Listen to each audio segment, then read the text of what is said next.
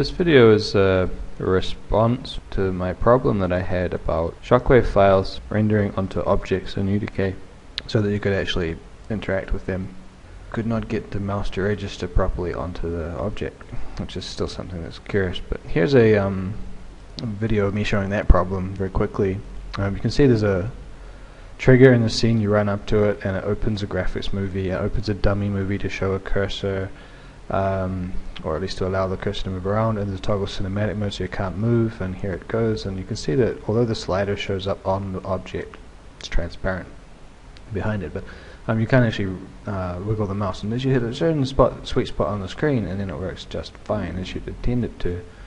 And here's another example using the scene we're going to use now which is uh, you want to click on this um, button here but actually it doesn't work unless you click over here which is just really silly. Basically I defined another way to solve the problem.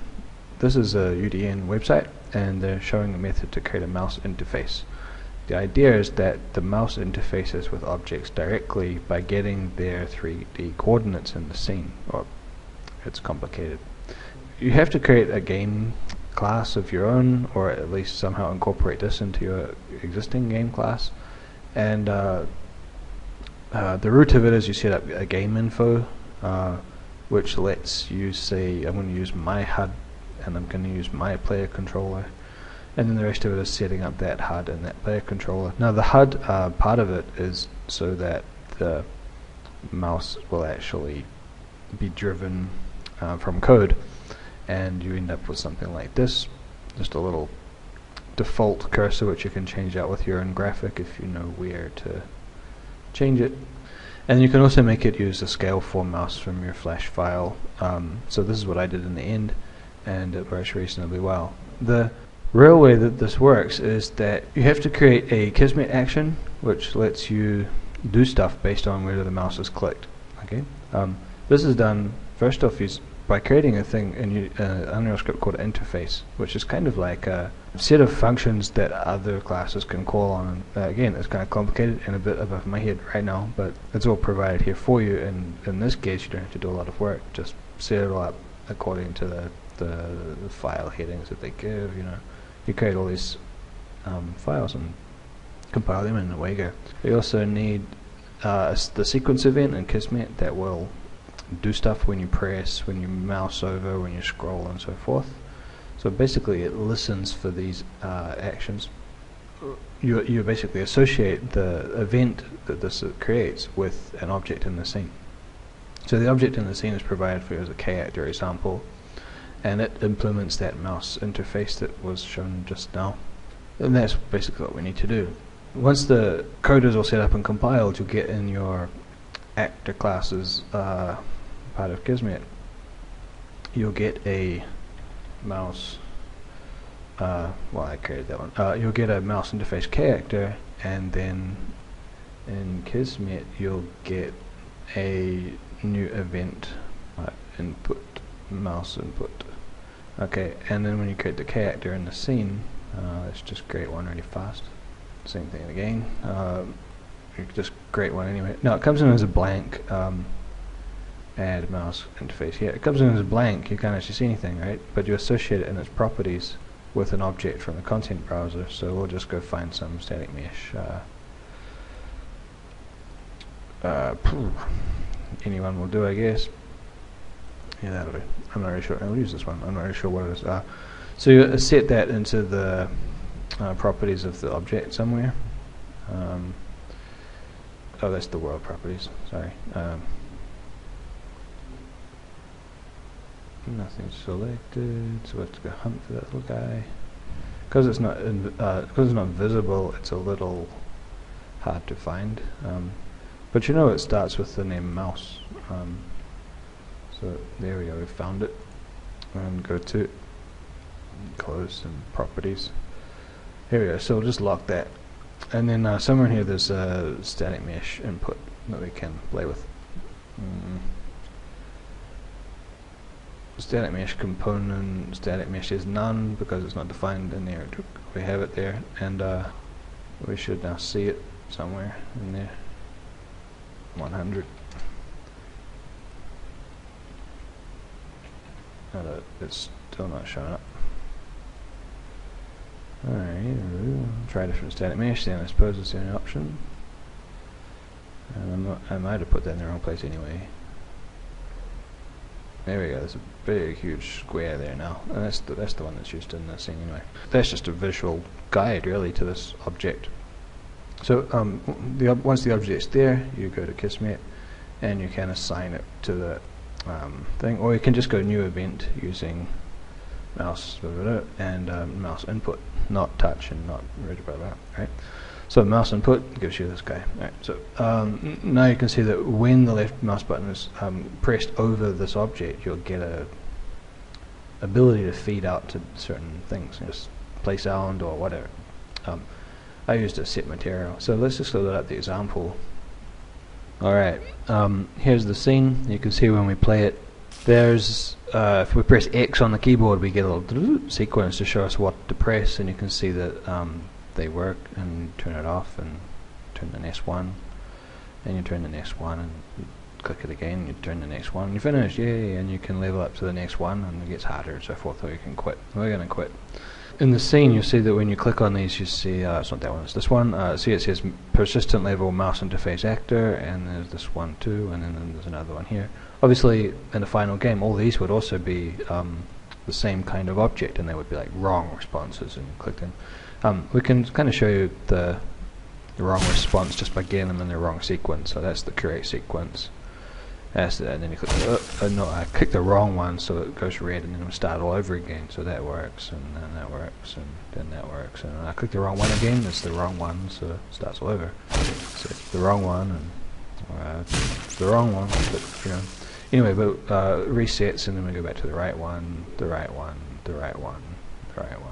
Yay! So all of these should, in theory, be uh, also clickable, but just hasn't been set up. Let's have a look at the Kismet for this, which is probably the interesting part anyway. So, Kismet, there's a timer which is not um, in play, and there's camera movement so that if when you play the game, you can press the arrow keys and you go up and down. This is just to make the level more complicated, and if you press spacebar, it stops you, and so forth, right? Um, so that's a sequence for that. This is done using little matinees and key button pressing. Okay, um, here's the starting con conditions for when the level loads, we turn off everything except for the first possible object that you can click on. And this would, in the final one, also include enabling all the wrong choices that you could click first.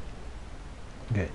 Um, we also set an integer, uh, which is called pressed, to zero, so that each time we click on the right one, it increments it. Uh, comes happening later on. And every time you click on one of those um, blocks in the scene it compares the integer and sees whether oh is this the one I, I want you to press right now or is it the wrong one and if it's the wrong one it, acts accordingly. When uh, uh first of when you finish the sequence right at the end here um, when you finish the sequence there's uh, a remote event that sends you back to the beginning and just turns all the, the buttons off you know just just in case. Now um, if you uh, click on the button correctly, there's a switch here which just turns on a little loop with blue, white, blue, white, blue, white, blue, white, um, flipping around. Um, and then when you uh, click it again, that loop gets closed. It's not a del it's got delayed sequence activate delays, whatever they're called, um, set activate delays. Um, it doesn't have a delay node; it just uses a gate. Um, it's simpler. Um, anyway, that gets closed as soon as you uh, click the box again, and then we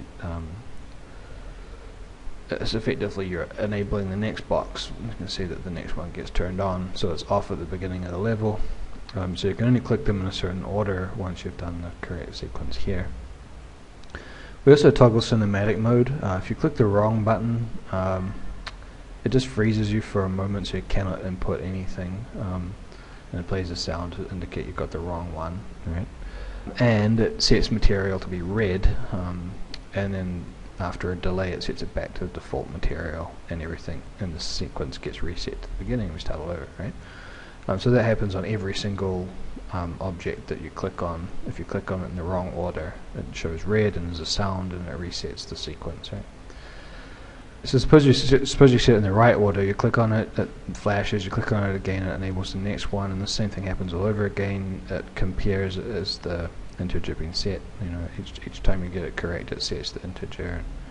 You see every single one has this based on whether you've done it right. And then uh, the same blue white blue white blue white for that part and the red turn off again um, for if you get it wrong. Um, in this particular example, you can press only the ones that are available, so there's only four that you can click.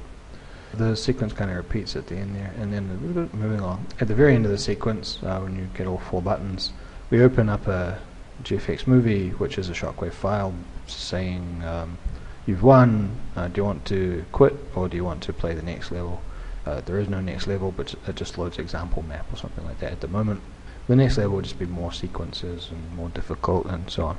In the Shockwave file there's two text field buttons and they need to have their text supplied. So we have a GFX set variable which gives us quit and we get level up. And uh, when you click on those buttons as FS commands. Um, I know it's not the best way to do it but it's fine it's easy. Um, FS command quit and FS command to open a new map uh, which in this case is just that one example map. When you press the quit button it asks you are you sure if, you've finished the level and you press quit, obviously it'll just quit. But if you press um, Q during the gameplay, it asks you, do you want to quit or not? Um, if you don't want to quit, it just keeps playing. If you do want to quit, then it will quit. Right? Uh, there's console command there for if you press yes. Right. So let's just show that. Um, you press Q and it asks you, do you want to quit? You can either type Y or you could type N. Let's just type N and it goes back and you press Q again and press uh, Y and it closes after one second. So we press play. This time do it by the button. So no and quit again and yes. Um, so there's a little one second delay at the end there. Right. So uh, you can either run it from the the the buttons or the key input. Right. Um, we have the same uh, issue with the text fields in the buttons, which is to go GFX set variable. We can see the um, the variable here from the action script, which is, you know, the, the button is called no button and it has a text field inside of it and we're changing the text and we're changing it to a string called no. And here's the yes button and it's got a text field of text and we're changing that to yes. And that's pretty much about it. So let's just play it one more time. Um, you press X to show the sequence. You can click on there. You can't click on anything else yet. We can turn it off and click on the next one click on the next one and uh, click on the next one run a quit or level up or whatever. and I'm done.